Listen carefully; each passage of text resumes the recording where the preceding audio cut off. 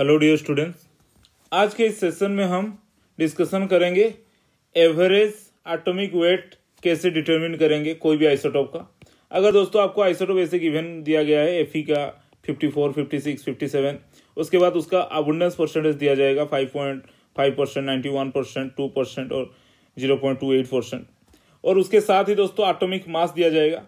तो आप यहाँ पे कैसे एटॉमिक मास निकाल सकते हो? Atomic mass average atomic mass निकालने की तरीका यही है दोस्तों summation of M one okay मतलब कि mass into abundance percentage okay plus ये दूसरा आइसोटॉप का अबुंडेंस इनटू एटॉमिक मास जितना भी दिया गया है दोस्तों उसी तरह दोस्तों आप एवरेज एटॉमिक मास निकाल सकते हो। कहने का मतलब मैं यहाँ पे एक, एक आपको प्रॉब्लम देता हूँ। दोस्तों कैलकुलेट दी क्वेश्चन ऐसे ही आएगा। Calculate the average atomic mass of carbon दो दो कार्बन आइसोटोप दिया गया है सी ट्वेल्व और सी थर्टीन इसका सी ट्वेल्व का मास कितना है? ट्वेल्व एम यू सी का मास कितना है दोस्तों? थर्टीन एम यू और एबंडेंस परसेंटेज कितना दिया गया है? Ninety eight point nine three percent और दोस्तों सी थर्टीन का one point zero seven percent तो यहाँ पे जो फॉर्मूला आपको बताया गया एवरेज मास विल बी पहले वाला ये मास वन है। Mass one into abundance percentage plus mass two into abundance percentage. Okay average mass one का कितना है दोस्तों? Twelve into abundance percentage. C twelve का कितना है दोस्तों? Ninety eight point nine three. आप इस, ये परसेंटेज में है तो आपने यहाँ पे डायरेक्टली लिख लिया। ओके प्लस दोस्तों, दूसरा सी थर्टीन का मास कितना है?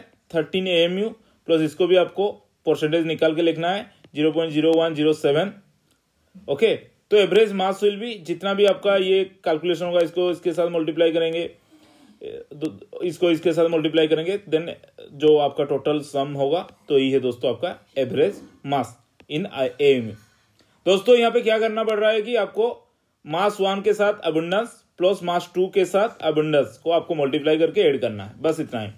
ओके दूसरा एग्ज़ाम्पल हम लेते हैं calculating the average atomic mass of M G isotope M G तीन आइसोटोप दिया गया है, एक, दो, तीन।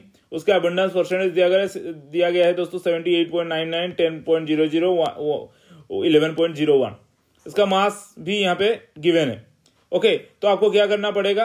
अबंडेंस के साथ mass M G twenty M G twenty four का दोस्तों आपको मल्टीप्लाई करना है, ये दोस्तों वैल्यू इसके साथ दोस्तों इसको मल्टीप्लाई करना है, इसका value okay abundance percentage of M G twenty six के साथ mass M G twenty six को मल्टीप्लाई करके ये वैल्यू है।